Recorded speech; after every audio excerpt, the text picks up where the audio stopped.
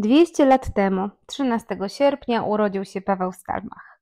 Wybitny dziennikarz, publicysta oraz działacz ruchu narodowego i społecznego, który odegrał kluczową rolę w historii Śląska Cieszyńskiego.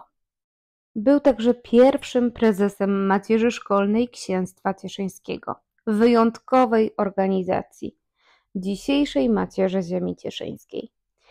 Tej okazji dr Cezary Tomiczek, prezes Zarządu Głównego Macierzy Ziemi Cieszyńskiej, zaprosił na symboliczną uroczystość przy pomniku Pawła Stalmacha w Cieszynie na placu Juliusza Słowackiego.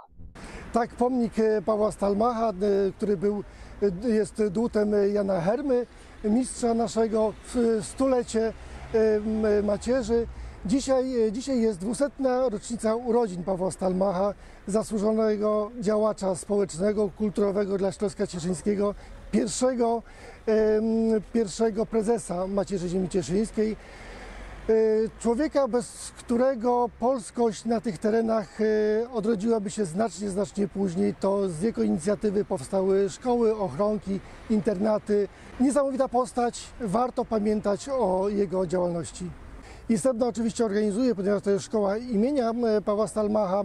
Również e, księżnica e, cieszyńska wydała teraz publikację na temat, na temat Pawła Stalmacha z okazji 200.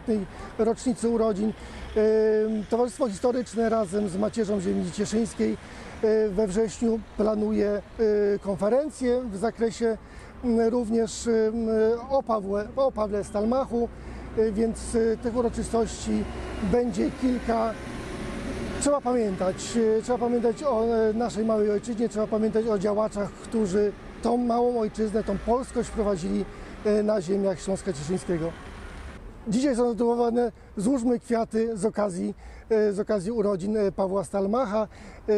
Na dzisiejszej uroczystości będą władze samorządowe, powiatowe i miejskie. Również jest delegacja ze szkoły i również nasi macierzowcy y, licznie dzisiaj y, są. Oczywiście poczet, standardowy jest rzeczą oczywistą, która dzisiaj się pojawi na uroczystości. Kwiaty z okazji urodzin złożyły zebrane delegacje. Pamięć to coś bezcennego, a dzięki wspólnym wysiłkom, ocaleniu od zapomnienia naszych bohaterów pochodzących tu z Tela, możemy być pewni, że pamiętać o nich będą kolejne pokolenia. Macierz Ziemi Cieszyńskiej to organizacja, która szczególnie dba o ocalenie od zapomnienia dorobku naszych przodków.